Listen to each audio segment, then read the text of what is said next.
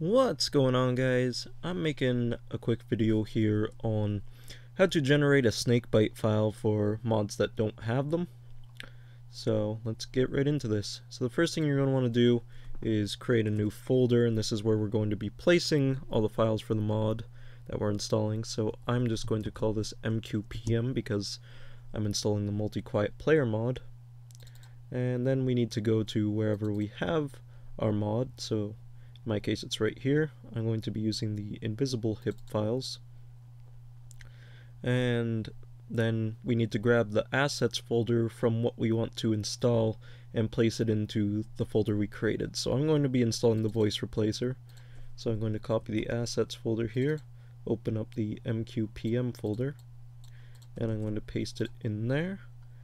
And then we need some outfits. So I'm going to be using snake, I'll go to normal, I'll do default over the sneaking suit, so I'm going to grab the assets folder from there, paste it in, and we'll do XOF over the battle dress, copy that and paste it in, and we'll go to the swapped heads folder, and I'm going to use uh, Sniper Wolf default head over normal. So paste that in there. So once you've got all of your uh, assets folders pasted into this folder. You can now close both of these. And then you're going to want to start up MakeBite.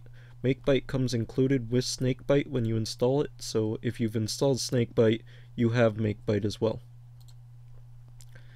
So from here we need to click the ellipses and navigate to wherever our folder is. So here it's on my desktop, so I'm going to click on the folder, then hit select folder you should see all these assets, whatever files all pop up in here.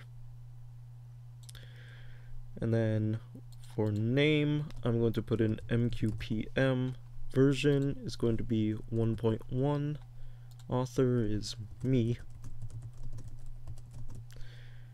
MGSV version, if you need to check this, then just start up Snakebite and look at your MGSV version right here. So it's 1.0.8.1 in this case.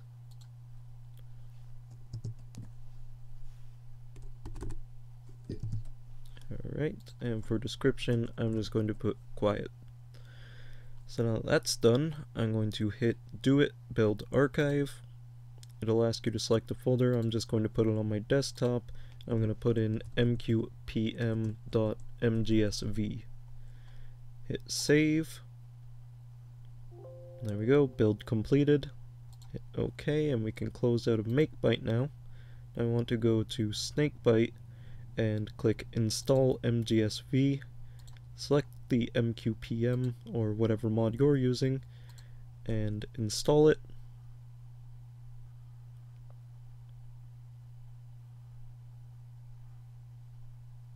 Alright, there we go, it's installed. We can now close this window and hit start game to see if it works.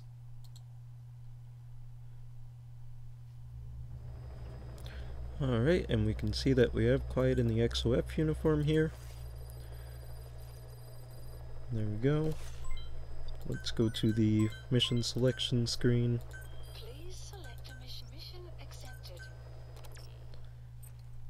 Alright, so we see over the battle dress we have the XOF uniform. If I switch to the sneaking suit, then we have her default outfit, and if I go to the fatigues, then we have Sniper Wolf with the default head.